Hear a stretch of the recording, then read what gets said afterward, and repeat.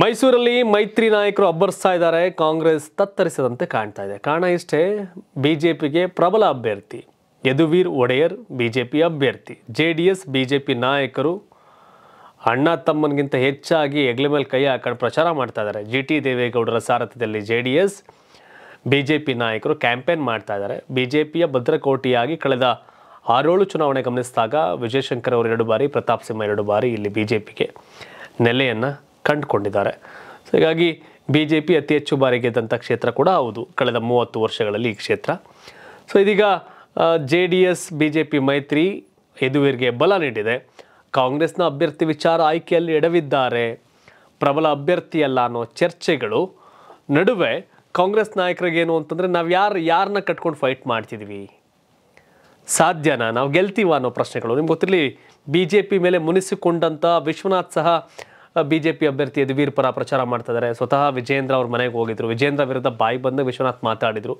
But B J P J D S ಮೈತ್ರಿ, ಆಲು ಜೇನಿನಂತೆ ಒಂದಾಗಿ ಚುನಾವಣೆನ ಮಾಡ್ತಿದ್ದಾರೆ. ಕಾಂಗ್ರೆಸ್ ಘಟಾನುಘಟಿಗಳಿದ್ದಾರೆ. ಪಿರಿಯಾಪಟ್ಟಣದಲ್ಲಿ ವೆಂಕಟೇಶ್ ಮಂತ್ರಿ ಜೊತೆಗೆ ಕೊಡಗು ಜಿಲ್ಲೆಯ ವಿರಾಜಪೇಟೆ ಮತ್ತು ಮಡಿಕೇರಿಯಲ್ಲಿ Congress M L ಎಗಳಿದ್ದಾರೆ. Tanveer Sait, Narasimharaja M L A, ಚಾಮರಾಜದಲ್ಲಿ Harish M L A ಇದ್ದಾರೆ. ಸೊ ಇಷ್ಟೆಲ್ಲ ಎಂ ಎಲ್ ಎಗಳಿದ್ದರೂ ಸಹ ಆ್ಯಂಡ್ ಹಂಗಂತ ಅಟ್ ದಿ ಸೇಮ್ ಟೈಮ್ ಅಲ್ಲಿ ಚಾಮುಂಡೇಶ್ವರಲ್ಲಿ ಜಿ ಟಿ ದೇವೇಗೌಡರು ಅನೂರಲ್ಲಿ ಹರೀಶು, ಜೊತೆಗೆ ಕೃಷ್ಣರಾಜದಲ್ಲಿ ಶ್ರೀವತ್ಸ, ಅಲ್ಲೂ ಕೂಡ M L ಎಗಳಿದ್ದಾರೆ. B J P, J D S ಸೇರಿ ಅವರು ಮೂರು ಜನ ಎಂ ಎಲ್ ಎಗಳಿದ್ದಾರೆ. ಐದು ಜನ ಕಾಂಗ್ರೆಸ್ ಎಂ ಎಲ್ ಎಗಳಿದ್ದಾರೆ. ಸಿದ್ದರಾಮಯ್ಯ ಪ್ರತಿಷ್ಠೆ, ನಾವು ವರುಣ ಚಾಮರಾಜನಗರ ಸೇರಿದೆ. ಮೈಸೂರಿನಂಗೂ ಸಂಬಂಧ ಇಲ್ಲ ಅನ್ನಂಗಿಲ್ಲ. ಮೈಸೂರಿನ ಗೆಲುವು ಸೋಲು, ಚಾಮರಾಜನಗರದ ಗೆಲುವು ಸೋಲು, ಸಿದ್ದರಾಮಯ್ಯ ಮೇಲೆ ಇಂಪ್ಯಾಕ್ಟ್ ಮಾಡುತ್ತೆ.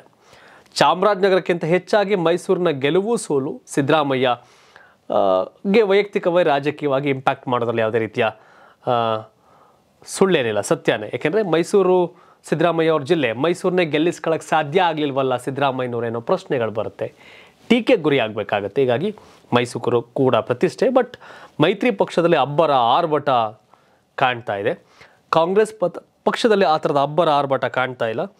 ಮೈತ್ರಿ ಅಬ್ಬರ ಕಾಂಗ್ರೆಸ್ ತತ್ತರ ಅನ್ನೋ ಲೆಕ್ಕಾಚಾರಗಳಿದೆ. ತಾವೇನು ಹೇಳ್ತೀರಿ? ಮೈಸೂರು ಲೋಕಸಭಾ ಕ್ಷೇತ್ರ ವ್ಯಾಪ್ತಿಯಲ್ಲಿ, ಮೈಸೂರು ಕೊಡಗು ಲೋಕಸಭಾ ಕ್ಷೇತ್ರದಲ್ಲಿ ಗೆಲ್ಲೋದು ಯಾರು? ಬಿ ಜೆ ಪಿಯ ಯದುವೀರವರ ಕಾಂಗ್ರೆಸ್ನ ಲಕ್ಷ್ಮಣ್ ಅವರ.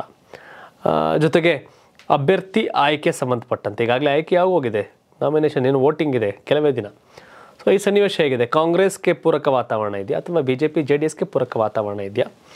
ಗೆಲ್ಲೋದಾದರೆ ಯಾರು ಗೆಲ್ತಾರೆ, ಎಷ್ಟು ಅಂತರದಲ್ಲಿ ಗೆಲ್ತಾರೆ? ತಾವೇನು ಹೇಳ್ತೀರಿ? ಕಾಮೆಂಟ್ ಮಾಡಿ. ಹಾಗೆ ಯಾರಾಗಬೇಕು ಪ್ರಧಾನಿ ನರೇಂದ್ರ ಮೋದಿಯವರ ರಾಹುಲ್ ಗಾಂಧಿಯವರ. ಕಾಮೆಂಟ್ ಮಾಡಿ. ಧನ್ಯವಾದ. ಇದು ಕರ್ನಾಟಕ ಟಿವಿ ಕನ್ನಡಿಗರ ಧ್ವನಿ.